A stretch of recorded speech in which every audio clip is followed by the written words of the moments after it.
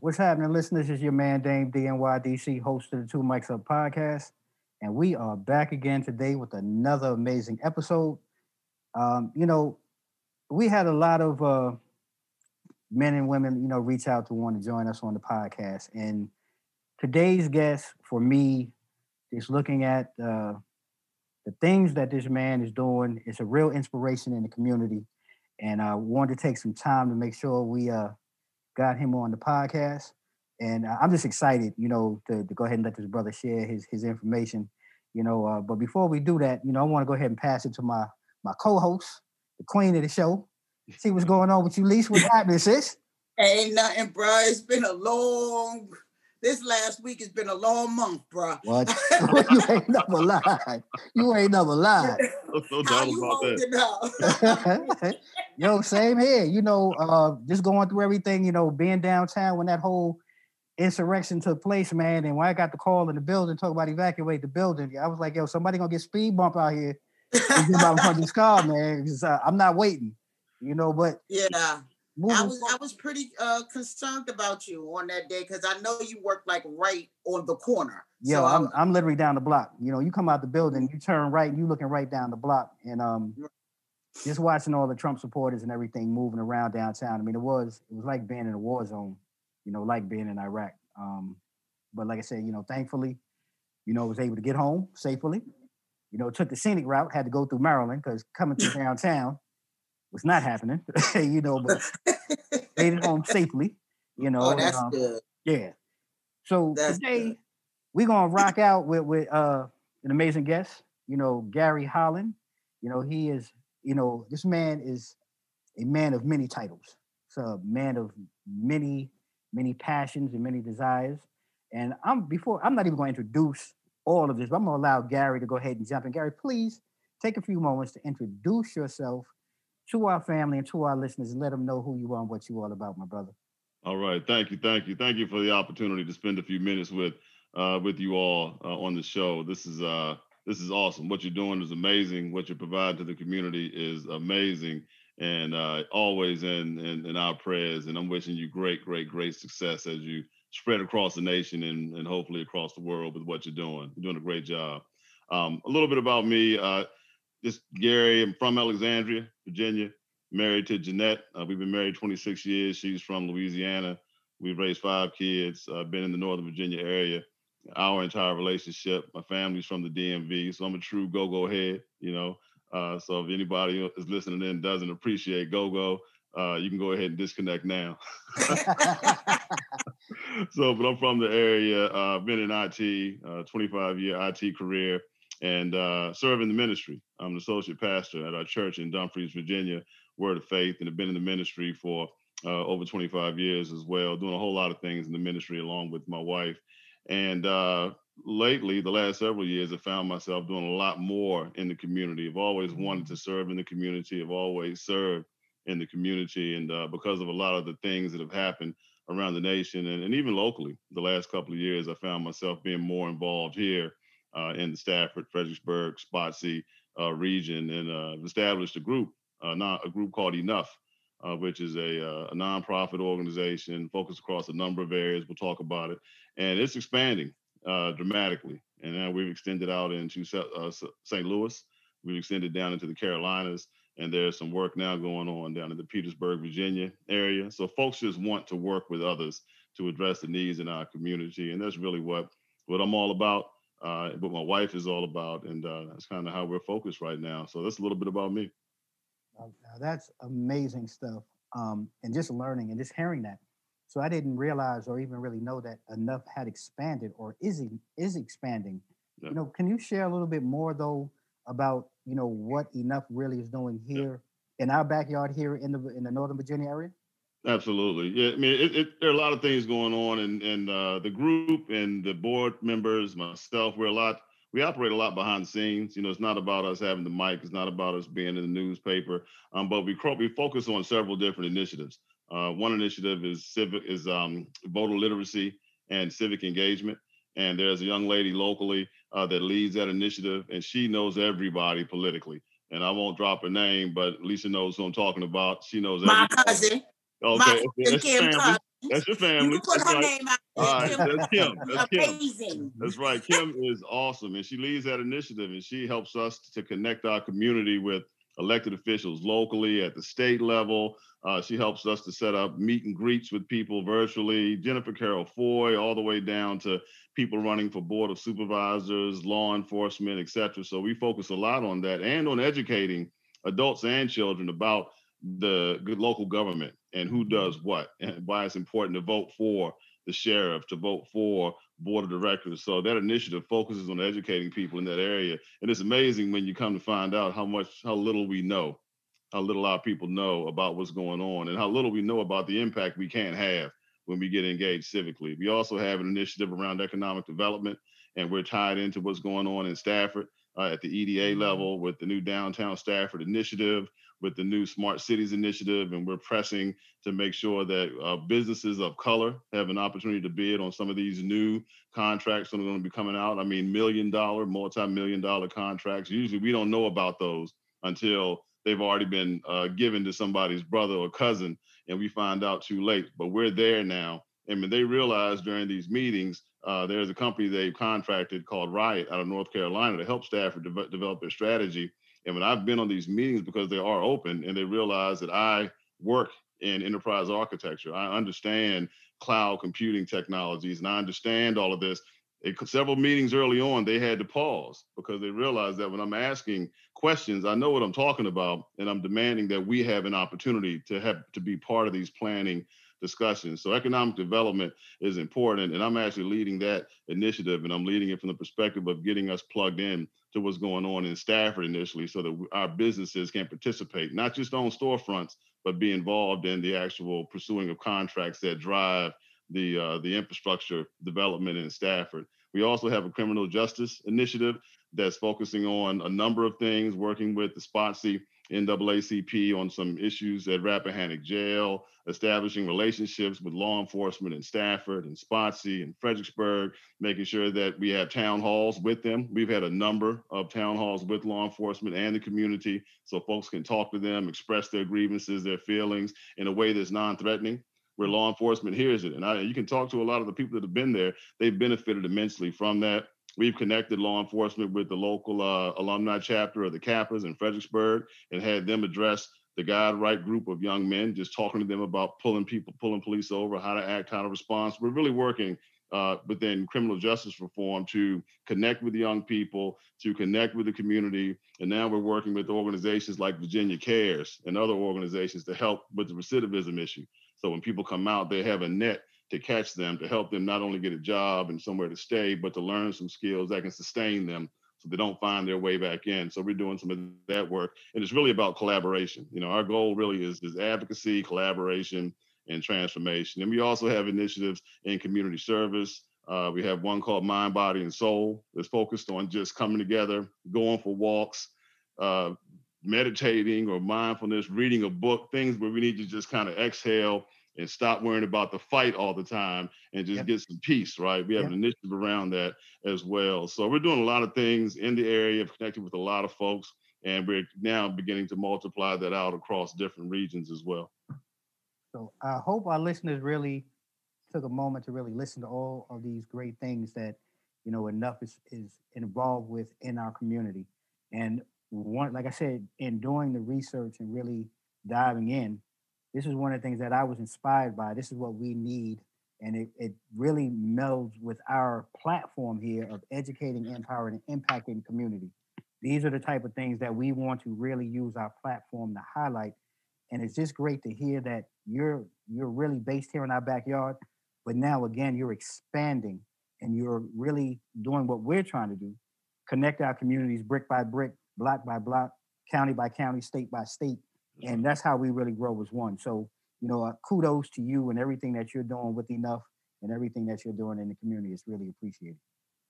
All right. I mean, that's what there's two things that come to mind a lot. People ask me, you know, why do you, you know, what inspires you, you know, to to to do some of the things you do. You know, my number one inspiration absolutely is my wife, Jeanette. Uh, again, married 26 years. She's that person that holds me accountable, that challenges me. She's my uh, BS meter.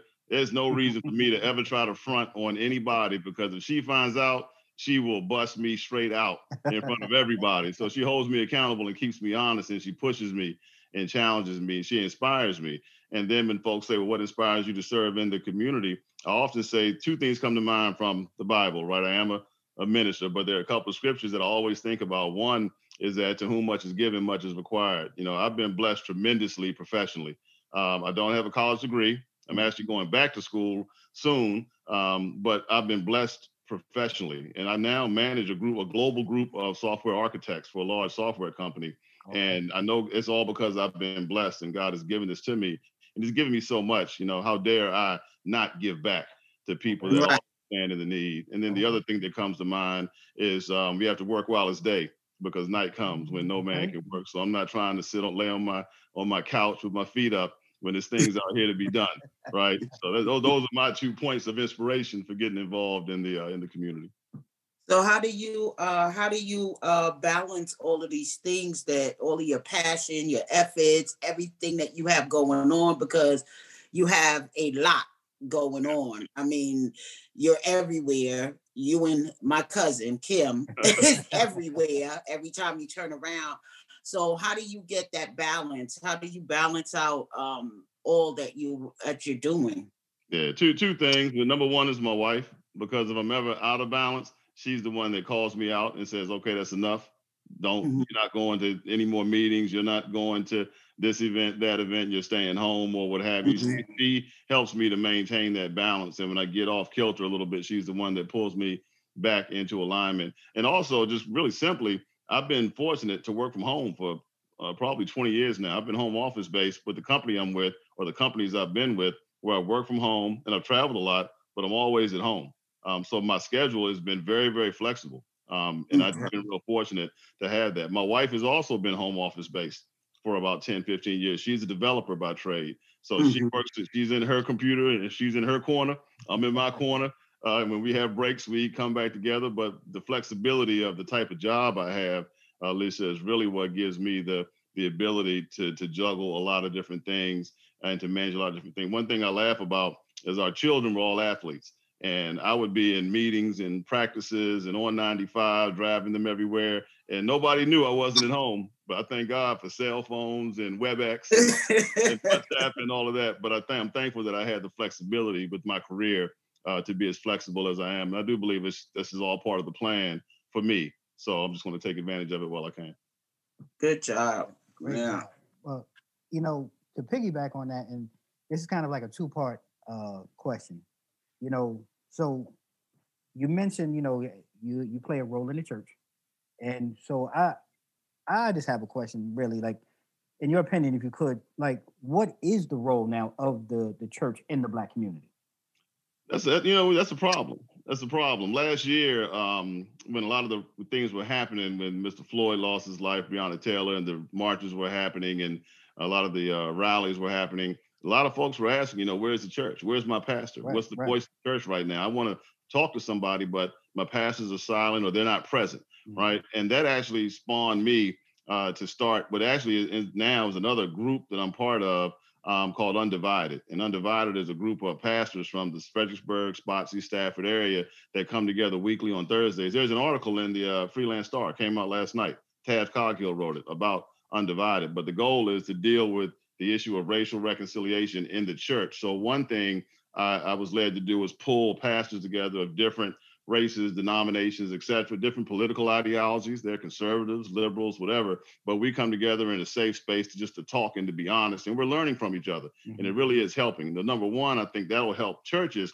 to begin to understand how to minister to their congregations and be more vocal to their congregations, and to give people a place to vent and to talk and to find some of the comfort that they need right now, because we need a lot of healing. Yeah. You know, right now, and the church is the place I believe to right. provide that. So that's one thing also, there's a group called 540 Pastors, and these are primarily Black pastors. And I established that a couple of years ago to try to get them to come together quarterly just to have lunch, just to talk, to get to know each other and collaborate. So when it's time for us to work together, we can move together as one. It's tough to do with a lot of churches. And that's why I think now a lot of folks are saying, where is the church still? What is the role of the church? The role of the church in any community, I believe, is to be there for be that place for healing to be that place where a person can go to, whether they're conservative, liberal, black, white, Asian, gay, straight, whatever it is, but they can go somewhere for healing and know somebody will listen to them and will respond to them in love and respond to them in a, in a supportive way. And I don't think we've done a good job of that because we've hid behind wanting to offend a portion of the congregation right. and cause people to leave churches and things like that. But I think we're getting there uh, as we continue to work together and as we continue to realize that if we don't minister to people and help mm-hmm. people, somebody will. Yeah. And that somebody right. may be the wrong somebody. And it may result in somebody making bad decisions. So I think we're going in the right direction, but it's going to take time and it's going to take people becoming humble and realizing it's not about our church or our brand or our organization. It's about the people. And I think we're getting there. And I don't have any problem being in groups with pastors saying this. Mm-hmm. And. I've had a lot of them mad at me because of it. no, right. Because it feels like the church lost its foothold in the community. I mean, you know, um, growing up, the church was the uh, foundation of yeah. the community right you knew the community you knew um, everyone every uh, the meeting place was the church the social outlet was the church and even um, with social injustice because we were at the church it was where we congregated so it feels like the church is um so it has lost a foothold on the um, foundation of the community mm-hmm. and it's gone astray to somewhere like in between commercial and well, I mean, you know, my mouth is reckless. No, so no, no, but I, I think you on you on to something only be, only because I agree with you. And the reason why the premise of that question was because I find that social media, in some ways, has removed that portion of the church because a lot of people don't really congregate mm-hmm. at the mm-hmm. church as much anymore. We congregate through social media. And I that's really what drew my question. I wanted to hear from someone who's active in the church. Yeah. And and how do we kind of get back to that point and, and where that removal or that disconnect has happened. And I think he really did a great job of saying that. But again, we have to get back to the point, in my opinion, like Gary said, our leaders have to come together now. That's right. Within the church and figure out a game plan that they can, I hate to say this, but really have to reintroduce themselves mm-hmm. back to the community to be able to go ahead and bridge that that gap that social media, in my opinion, has now taken a role in in being that voice. You know, they rather look at that and they're more active with that than their church leaders or, or the, the, the, leaders in the community. And, and, churches are doing that. There are pastors realizing that you know what, it's time for us to revisit, you know, how we approach the community. I mean, there are people, pastors now are realize they have more people they're touching more people now because of COVID, and if they're doing it the right way through virtual services, phone call campaigns, things like that, they're actually building better, deeper relationships with people because they're intentionally having to do it.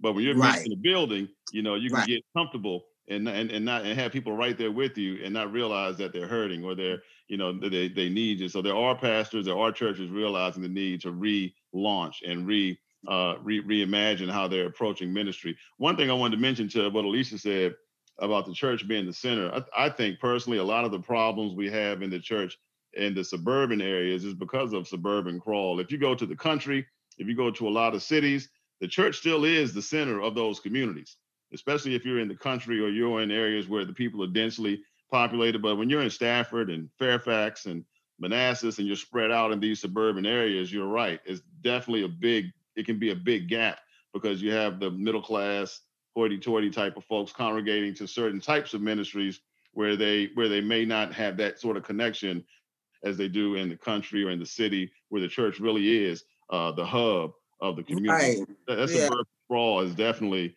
uh, impacted the church in the suburbs, but there are ways to address that too. It just requires, I think, the leaders to come together, as Dame said, and put strategies together where we work together to meet the needs of the community spiritually and not worry about our own brand and our own label. Well said. Well, I think you're right, Gary, because I think that's what that's where me personally I'm feeling it is the suburban um, situation, you know, and and I think that that was um, accurate because I, I feel like um, even though maybe I wasn't even kind of conscious of that, uh, but I, I feel that to be true. It's mm-hmm. just that aspect because when I go home, I, my church is still there. That's right. That's right.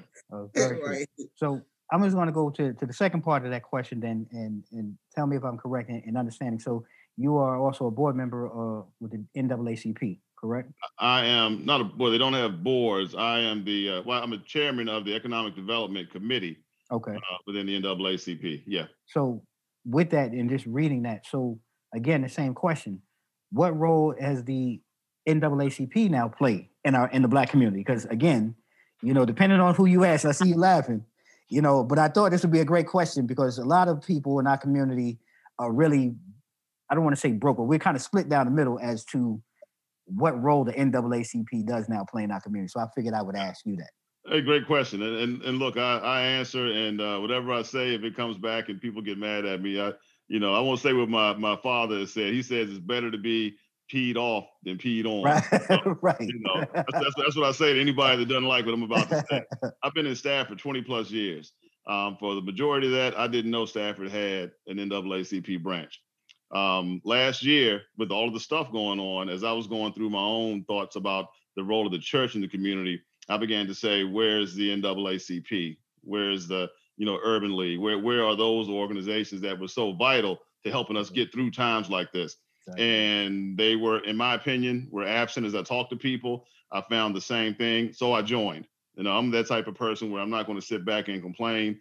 I'm going to roll my sleeves up and I'm going to get involved and try to be the difference that I want to see. So I joined the Stafford branch and became very active in the branch and uh, became uh, the chair of the board. And the NAACP became more active last year, but a lot of it was because of what was going on you know, and I, and I believe they kind of tagged on to a lot of the activities that were going on. My opinion, the NAACP can be more progressive mm-hmm. in terms of connecting with the community, mm-hmm. in terms of collaborating with other organizations. There's a lot of hierarchical, bureaucratic, political stuff right. that is amazing to me, mm-hmm. to be mm-hmm. honest with you. I mean, in this day and age, for the for this sort of an organization to have so many layers of stuff you have to cut through to get simple things done that's why I think that it hasn't moved as progressively as it ought to, and as I think it will. There's new leadership in the Stafford branch now um, this year, and we'll see if um, you know if the new leadership can move the organization to a place of relevance and a place where people really um, go back to appreciating the NAACP. I appreciate that brand. I understand the benefit it's provided to our community, to our people, um, but I think we've kind of lost sight of that, um, and hopefully we can get back to to, to the place where it was. We have branches here, Spotsy, and in Fredericksburg. And those three, in my mind, ought to work together more for this region and not be so focused on zip codes. Mm-hmm. Um, and I've said this, and we'll see if uh, people just stop answering my call or we put the division down and come together and begin to make a difference. Because that's really what it's about. The bottom line is that it does not matter if we're all moving in the same direction, we need to move in the same direction. Yeah. Now, the way you get there may be different than the way I get there, but we're going, our goal is the same. And I do understand being selective. Like some things you just don't want to hit your wagon to, you sure. know, some ideologies and some rhetoric is just not um, who you are in the core. And I get that part, but the most majority, um, we're all trying for the same thing. We're all striving. So it should not be a situation of zip codes or uh you know, all of this paperwork and hierarchy and all of these things. It's like, okay, we're all one, we're under this umbrella. Mm-hmm. Let's go this way. We all should be moving in the same direction as a people mm, to get to where we need to get, uh, um, to you know where we're going. So, well, let me I give you an example of two of the things that they're doing that I've been involved with that are helpful. And I'm, this is with the youth council, not with the adults. Um, but today they had a uh, session on human trafficking, and they had a, a lady from Fredericksburg who works in social services, whose daughter was uh, well, was coached up and prepared, and right under her nose. And she knows about sexual violence. She knows about things. She's preached to her daughter to be wary of this and of that. And right under her nose, there was someone preparing her daughter to the point that her daughter was was taken. Um, and she told her story. And the NAACP youth were brave enough to get her on and to open it up to to, to whoever wanted to attend to expose because human trafficking is real. That's the real. sort of thing I think they need to take the lead on bringing to the forefront. Not not not golf tournaments, not mother daughter teas. Those are fine, but it's the it's real out here.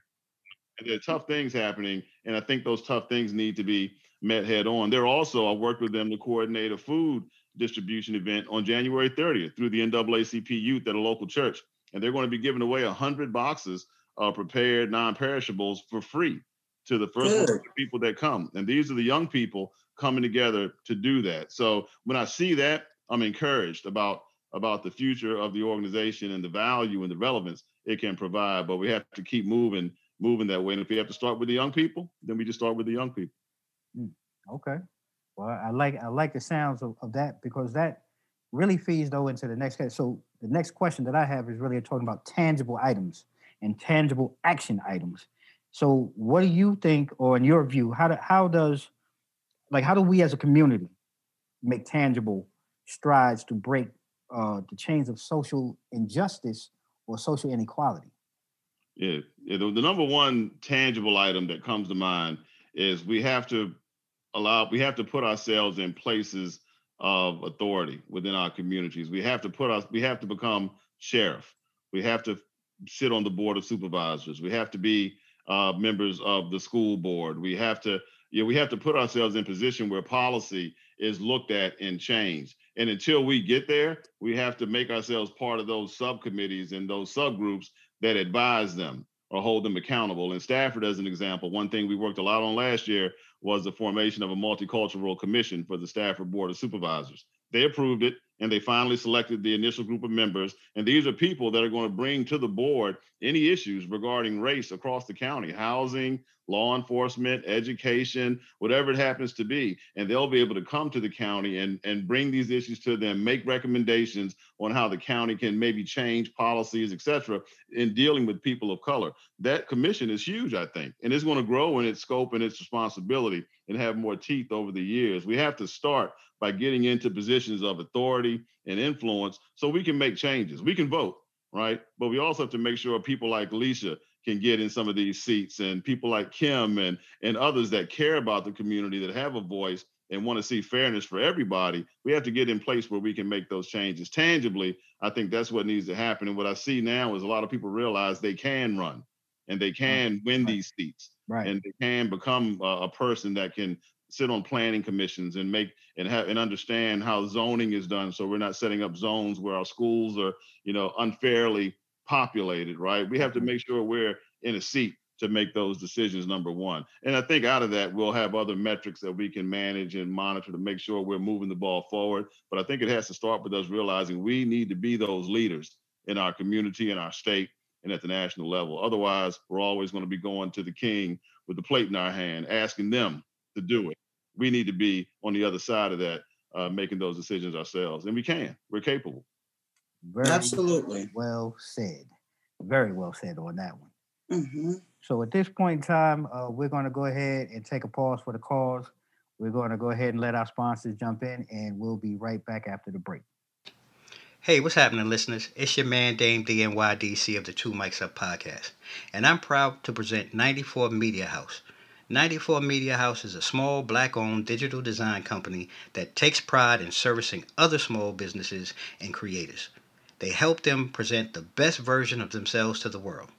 Take it from me and the Two Mics Up podcast because 94 Media House does all of our branding and marketing.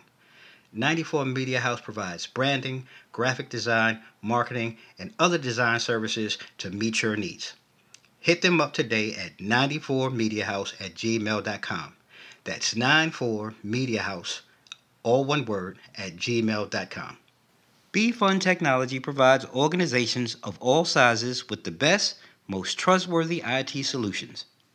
In the ever evolving technology market, Be Fun Technology believes that companies need reliable allies who can guide them through the challenges that accompany today's technological growth. Be Fun Technology, our mission, your vision, our solution. Be Fun Technology, call them today. All right, fam, we're back, and we are here today, two mics up, uh, with an amazing guest, Mr. Gary Holland. You know, he is the uh, executive board member in NAACP chapter. He is a associate pastor here in the community, and he is a big time. I, I want to say activist with the Enough Group. Like I've just learned so much today uh, with this brother being on. Um, I'm really excited to continue this conversation. And you know, with that being said, you know, Gary, in your opinion, this really in your your deepest opinion, what can we do, uh, or what steps can we take to improve, you know, our self esteem, mm. you know, as a culture? Mm. You know what? I'm I'm so glad you asked that question because there's two things that I was thinking about during the break that I was hoping we'd be able to uh, to get to, and that question leads me to to, to both of those. Um, one thing in particular, I, I, believe we can should do to build our self-esteem, to build our confidence in who we are, what our potential is, is we need to learn how to be more comfortable talking. You know, I I, I do a lot of work for my company. Before COVID, we would have uh, trade shows, and college students would come in, engineering trade shows, and you'd be amazed at how many college students, bright students, wouldn't be able to look you in the eye and talk to you. Say that again. They would look down, they'd mumble, uh, mm. they wouldn't shake your hand firmly, have a conversation. Um, the ability just to speak confidently. You don't have to talk like anybody else. You can talk like you talk, right? But the ability to communicate, the ability to carry yourself as a leader with some authority, with some confidence is very important. And I felt that for a long time. Our community is missing that, especially with our kids on phones all the time and Snapchat and all of that sort of thing. They're losing that social connection. As a result, um, last year I actually started the S3 Toastmasters Club. Okay. All and right. Toastmasters is an international program focused on building leaders and developing communication skills. And we actually formed our club, and you need 20 members to charter.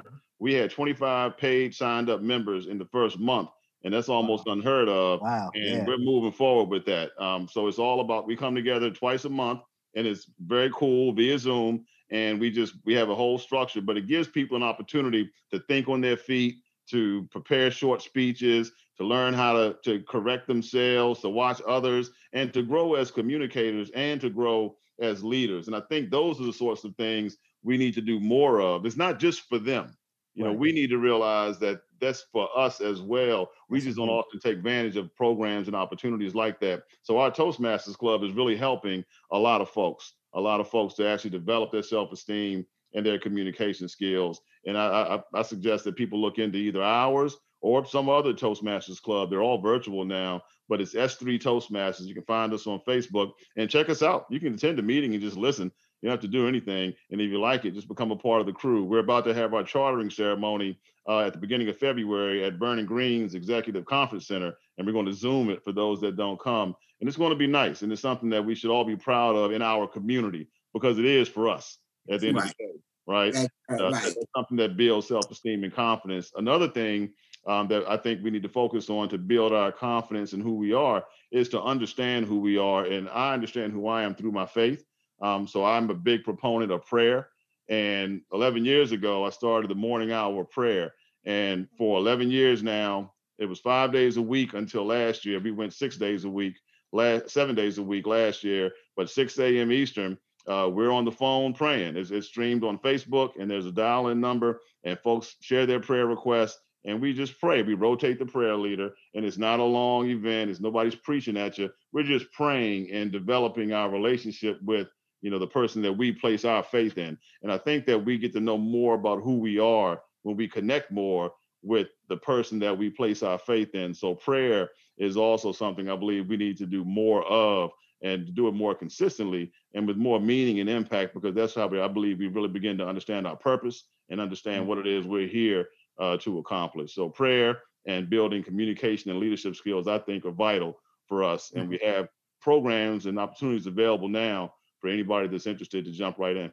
Won't cost you a dime. All right. That's nice. It is nice. Well, that is nice. Um, if you could do one thing to um, improve Black America, just one thing, what would what would you do? What would it be? Yeah, you know, and this is and as I turn the as I turn the um, I try to turn the the the scope back you know inward for a question like that it's easy to, to say you know they have held us back you know jim crow and this and that and and and segregation and and all of that's true. I, mean, I, I understand our history. I understand that we're starting from behind uh, the starting line. I understand that many other races have opportunities for things that we don't have opportunities for and it makes it it's unfair for us. I get that.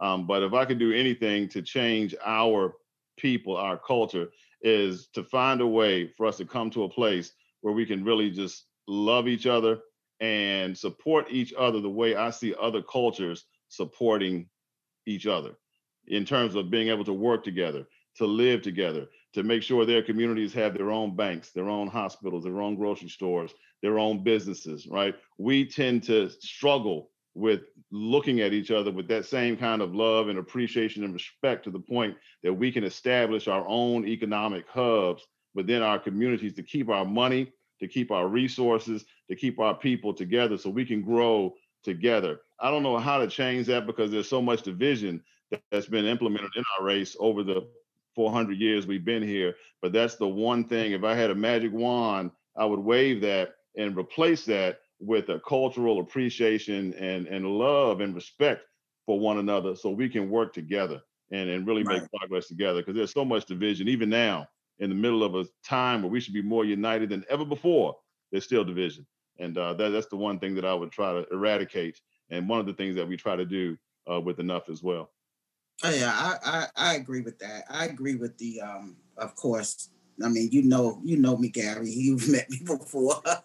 and one thing I preach is unity. You know, we should we should definitely um, let the perceptions go, right? Because yeah. whatever you may perceive of me or her or you or I, how about having a conversation, getting intimate, getting to know somebody? Because your perception is what may hold us because I don't know the answer. Like you said, I don't have the magic ball, but I know the one thing that is really making our road more difficult that a, a difficult road that's already been laid out for us, but mm-hmm. something that we can take hold of ourselves just to make the path a little bit more smoother for us is that we have so many division right. amongst ourselves. We have so many problems with other people that I think that the divisions amongst us is just almost like we should not be here because we got too we got too big a fish to fry over here. Right, we yeah. don't have the time to be worrying about um, you know, who's doing what and who's doing this. Stay focused on the goal and yeah. everybody's personal life. Leave that out of it, right? right. and just right. stay focus on the goal. So I kind of agree with you on that. Yeah, that would be mine too. I mean, I, have seen, um, you know, believe it or not, I've seen organizations say that they were going to cancel events if organization B's logo wasn't removed from the flyer. It's that mm-hmm. deep. And these are all black, you know, African American organizations working together for an event. But I've seen it get that come to that level. And when I see stuff like that, you know, it just kind of it, it breaks my heart and just like you said, I mean, if we can't just truly, put, and we don't have to agree on everything, but there has to be some things that we, there has to be foundationally some things that we all can agree on and work on together. It's the same thing that I've said in Undivided for the group of pastors. We're not going to agree on everything, you know, but there has to be some core elements that we all hold fast to that we can kind of unite around and drive forward. It's the same in our community. We have to come to a point where we figure that out. Um, we've done a good job and we've made it and but it's been a bumpy road. we, we, can do a lot better. We can do a whole lot better if well, we can unify.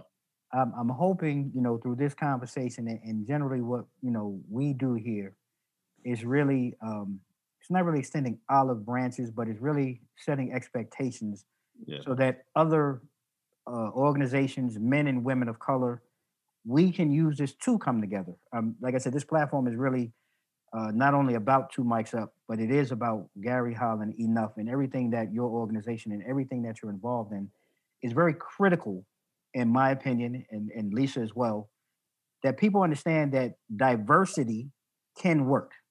Yeah. And we have to, like you you eloquently said, we, we're trying to create a foundation. And from a foundation, or even when you're planting seeds in a garden, you know, these limbs are going to grow in different directions, but they're always going up towards the sun. And we have to be moving in that one direction. Now, how we get there and the roads we travel may be different, but the foundation, in my opinion, needs to be the same. There's a core uh, that runs through all of that, like you said. And I and I'm hoping that people are hearing that. I hope people are seeing that in what we're doing and what you're doing, and all the other fine people that we've been blessed to have on our show so far um, are doing the same thing as well. So, you know, with that, you know, I have to ask, with all of those things being said, it gotta be days you get tired, bro. Like, it's gotta be days, because I know I do. Yeah, And- well, absolutely. And and when you're not motivated, though, I know your wife stays on you because I look, I know I got one too. And man, Lisa tell you, but my wife gets it. But outside of that found that solid foundation, because that rock holds you, and I get it. I hear you and I feel you when you talk about your wife, but there's still days as a man, and and least excuse me, because I, you know, I'm- Oh, okay, excuse me. I'm gonna talk- mute right, because I'm talking to the brother here now. I'm gonna mute myself. You know, we're gonna keep it real because these days, though, man. Look, Pastor, excuse what I'm about to say. I, shit, I'm tired, Uh-huh. and I got to figure out what. There has to be something. We all as men have that one thing or those one or two things, those sparks. That when your wife or that that is not happening, what is it that moves you to continue down that path and, and keep doing what you're doing each and every day? Yeah, it, you know, and my answer, I'm not a deep dude, you know, mm-hmm. and I, I tell people when I speak at church, I tell them I'm not the deepest guy. I'm not gonna hoop and holler. You're not gonna get that from me, but what you're gonna get from me is what I have. Right. That's all I have. The thing, the spark that really keeps me, has kept me in my marriage through all the issues we've had. My wife and I have counseled a lot of people over the years. The thing that's kept us, the thing that's kept us as we've raised five children that are also an additional motivator for me. The thing that's kept me when I have felt like not dealing with anybody in any organization because they've gotten on my nerves, and I just said, you know what, I could, I could just watch, I can watch the Redskins and mind my business, right? It, it's been my faith. You know, I came from a place where I, my, you know, just like a lot of people, and you've heard it. You know, we've come from some some times in our Mhm. lives, Mhm. and I look back over my life and I see what my faith has brought me through and brought me from, you know, that all I have to do is take three minutes to think back to where I was, you know, 26, 30 years ago. I'm 52 now, Mhm. and think of where I am now in terms of my health, not being incarcerated, not having, you know, just all the sorts of things that I don't have uh, eh, because of or that I should have had by all rights based on who I once was. That really is what keeps me going. That keeps me going. I could I could look around and feel bad about people and t- the times and the government and and all of that. My wife may be mad at me. The kids could be disappointing me. But if I stop and I think about what God has brought me through, right, I realize that He's done it for a reason. So I don't, and I, I have no choice but to just pull myself up, throw my shoulders back, and keep moving forward. So that's really my motivating factor, brother. Is my faith. Uh, man, I appreciate you taking the time to share that because I think it's important um, that men, young men, get to hear that from other other kings, you know, that have been down that road. Yeah. Um, you have some life experience, and those words really ring true. And I just wanted to give you that opportunity to kind of share that because I think it needs to be heard. Yeah. So, random question before we go, because this one is off the wall. Because I know me, I like movies. I don't know if you like movies or not, but I like movies. And you know, I have my own theme music in my head. Whenever I enter a room, I got my wakatum, wakatum, wakatum, wakatum going on when I walk into a room. So, you know, what movie best exemplifies your life, in your opinion? the movie that, that best exemplifies my life. Uh, my favorite movie of all times. I, I, I'll, I'll answer that first. Okay. My favorite movie of all times is Enter the Dragon. Okay. You know, that's that's, that's me. Roy. You know, come to no, not not not not uh. Oh no, I'm thinking of a dragon dude. Uh, you, you talking yeah. about the last dragon? yeah, that dude. Yeah, no, you're not talking about him. I'm talking about Bruce Lee, Enter the Dragon. See, I'm a little you, bit older than you now. Yeah. You work- work Now we're the same. We're the same age. Okay, I'm from. I'm, I'm in the hood. I'm thinking of Bruce Okay. Leroy. I want to get them Leroy's pizzas. got you, I I got you. got you. Yeah, my bad. It- it- it's Bruce Lee, right? Because when I think about and I think about him, and and I and I love his life story. I mean, he's an Asian guy, as we know, but he got into a lot of trouble. His family sent him to America, but he always had a dream for himself. He didn't know what it was, but he kept pressing and fighting and overcame obstacles, and he became a superstar. Mm. Now, unfortunately, he did. You know, he passed away. Uh, you know, suddenly, but he fought through a lot of things and ultimately became a superstar. So when I think about, you know, my my favorite movie or my theme movie or my theme music is the music that you hear when Enter the Dragon comes on. That Okay. 70s, that kind of hokey 70s kind of silly music. yeah. You know, that's what I think about. You know, but it, his his his life and what he uh, he meant a lot as I was a kid. I grew up taking martial arts. My stepfather was an instructor, and I took martial arts from 11 until 26, and I stopped as an assistant instructor. Um, but that's been a big part of who I was, the discipline. And uh, Bruce Lee was somebody that always kind of inspired me when I was young. So when I think about movies and soundtracks and theme songs, I hear that old campy 70s 70s music. That's what's up, man. I appreciate I appreciate that. Want to lighten it up a little bit before we head on out. You know what I'm saying? So, Lise, anything before we go ahead and, and wrap up with this brother, uh, this amazing episode today? I thought the episode was really good. I mean, this was um, very clarifying, enlightening, um, and uplifting and encouraging because when you come when you think about um, reinventing the church and how we're coming back to that and you know we're getting back to the foundation and then just uh, moving in the right direction as a whole, as a people, you know, and letting the younger generation of the NAACP let us older people who have our opinions go sit down and have several seats and watch them work and change, change the way the dynamics is going to go. So it was a very broad um, topic. You did a great job, Gary. It was wonderful having you here. Um, mm-hmm. So please know you're part of the Two Mic family and we would love to have you again. All right. Hey, well, look, thank you all for, for letting me be on. This has been this has been great. You guys make it easy just to talk. I tell you, the way you ask questions and the way you move it, you make it comfortable. You make it easy. One thing that I'll say at the end here is, um, I always believe in pressing forward. You know, and no matter how tough the road gets, you know, there's a scripture that says, you know, we gotta, you know, don't get tired in doing the right things. Don't become weary in well doing. I know you guys have those tired days too um, around two mics up and you wonder why you're doing it. So I encourage you to keep on doing the right things because at the end of that scripture, it says you'll reap a harvest if you don't faint. And I hold mm-hmm. on to that scripture a lot because I get tired like everybody, but I believe that what I'm doing is the right thing. So I'm determined to keep on pressing through obstacles because I believe that the benefit may not be for me, maybe for somebody else, but that's fine, right? But I'm not going to give up. I'm going to keep on pressing. I encourage you guys to keep doing the same with two mics up, keep reaching people and uh, changing people's lives and touching people's lives uh, with this platform that you have. Thank you so much. We, we will do our best to uh, continue. Um, and I will be remiss if I did not ask you and allow you to take some time.